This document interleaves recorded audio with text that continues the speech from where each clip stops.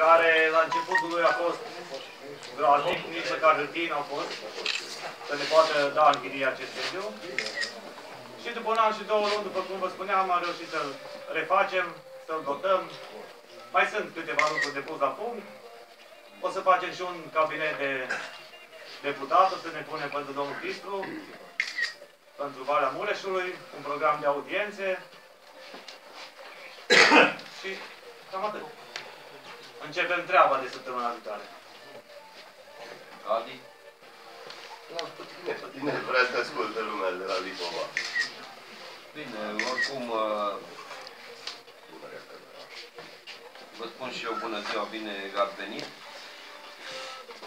În primul rând vreau să le mulțumesc la Dănuț, la Adrian, la ceilalți, uh, ceilalți colegi ai noștri de partid care s-au ocupat ca alte să aibă sediu și aici la în orașul Lipova. Așa după cum știți cei de la presă cu voi mai am discutat, am deschis sedii în, în, și în Arad, am început să deschidem sedii. Fac acum în localitățile mari, în zonele uh, mari, pe fiecare colegiu, cum era înainte, o să avem câte un sediu. De ce deschis sediul de la Lipova, al doilea de acest gen. Am deschis sediul de la Nătlac, dar uh, acolo n-am putut inaugurare. Dar cred că o să facem și acolo la Nătlac inaugurare. Mai vreau să deschidem un sediu la Curtici. Am și vorbit pentru, pentru spațiu. Probabil un sediu la, la Sântana,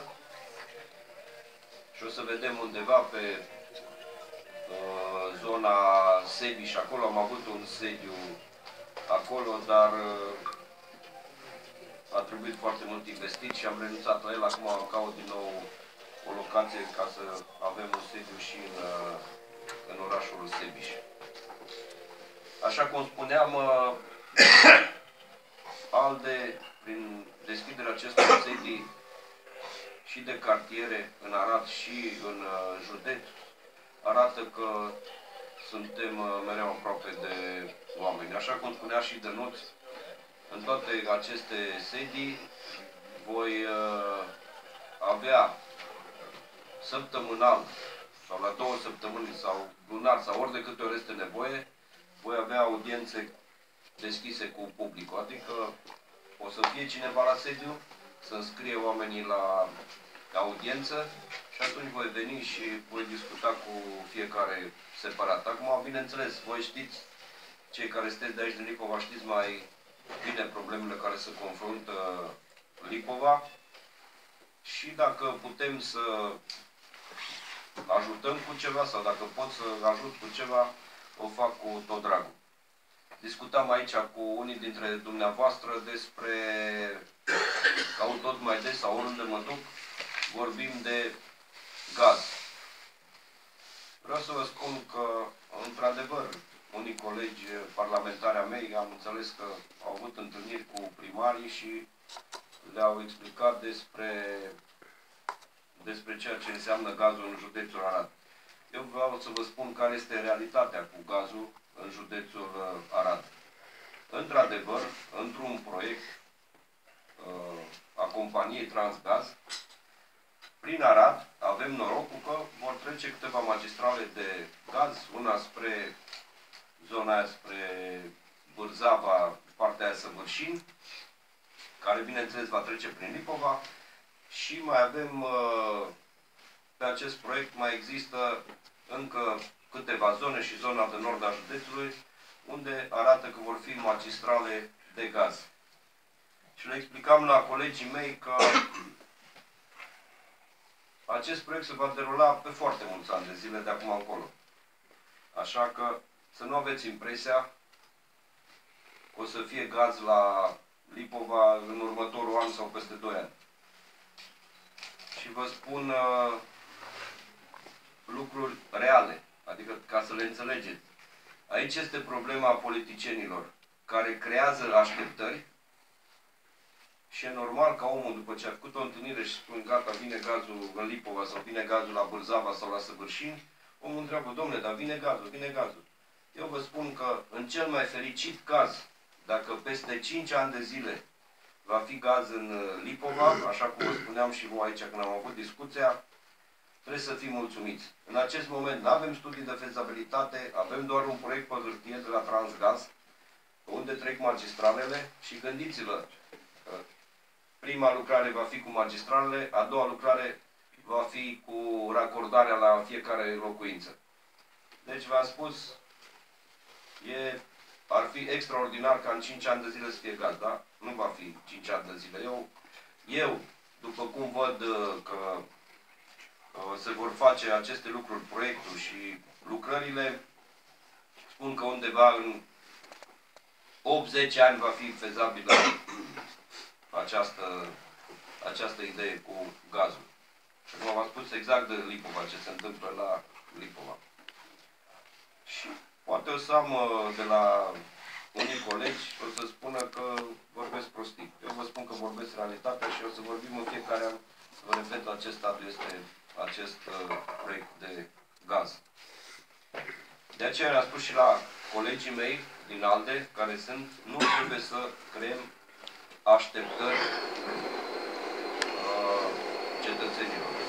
Dacă avem un proiect care se poate realiza, un proiect realizabil, atunci, într-adevăr, putem să vorbim exact despre acel proiect, putem să dăm aproximativ niște termene, iar dacă vom fi corecți și nu-i vom uh, minți pe oameni și nu, vom, uh, nu le vom crea așteptări, cu siguranță vom uh, avea succes. Încă o dată vreau să le mulțumesc la, la toți și în special la Adi și la Dănuț pentru implicarea de care au dat dovadă. Vreau să spun că pe amândoi am cunoscut acum un an și ceva și a fost imediat după ce eu am luat organizația ALDE. Mi-a zis cineva de, de ei doi și am zis, domnule, zic, hai să încerc, fiindcă Lipova, aici știți și dumneavoastră rezultatul de la Lipova și de multe alte organizații unde nu au reușit să obțină voturi, am vorbit cu președinții care erau interimari și le-am spus, domnule, dacă nu puteți să faceți treaba, mai bine vă retrageți. Atunci, așa am ajuns la Lipova la ei și au spus, domnule, ne dai partidul, putem să facem. Și am zis, domnule, de mâine aveți partidul. Colegul nostru, fostul nostru coleg uh, Mihoc, s-a supărat, să mai dau o șansă și am zis, mă, poți să rămâi cu noi în echipă și o să facem lucruri bune pentru Lipova. Nu a vrut să rămână în echipă, a plecat, e treaba lui, e alegerea lui. Dar uh, vreau să vă spun că organizația Lipova, pot spune, s-a mișcat cel mai bine dintre toate organizațiile. Și aici mă refer la organizații mari, având în vedere că Lipova este oraș și în oraș sunt foarte multe voturi, având și o populație uh, mare. Eu sunt sigur că cu aportul dumneavoastră vom face o figură frumoasă la legile europarlamentare care urmează și sper eu la toate alegerile care să urmeze uh, de acum încolo. Și vreau să vă spun că s-ar putea să am și o șansă la aceste europarlamentare, deși mă aflu pe locul 8. Uh, știți cum e, dacă mă aflu pe locul 8, sunt colegi care sunt în fața mea pe listă, dar care poate vor să facă altceva, vor să obțină alte funcții și așa că eu zic că voi avea șanse. Poate nu din prima, dar pe parcursul uh, anilor care vor urma s-ar putea să prind și eu un loc de europarlamentar. Dar cum le-am spus la, și la colegii mei de la București și la colegii mei de aici și cum spun peste tot în județ, nu mă interesează Parlamentul Europei, momentan pe mine mă interesează Aradul și județul Arad. Vom stabili împreună toți,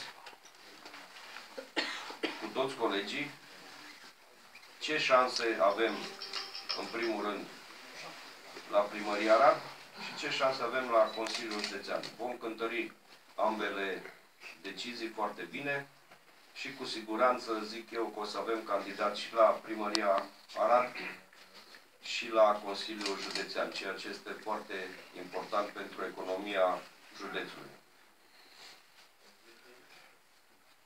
Cam atât am avut eu de, de spus.